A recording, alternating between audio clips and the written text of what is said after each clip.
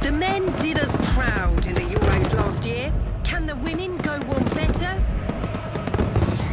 players take the knee, united in their stance against racism.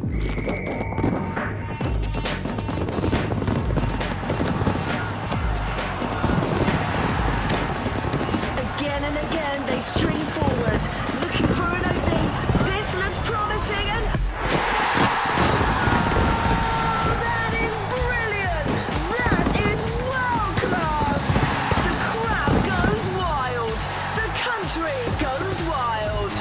We hope to see you in London for the UEFA Women's Euros. 2022 will be huge.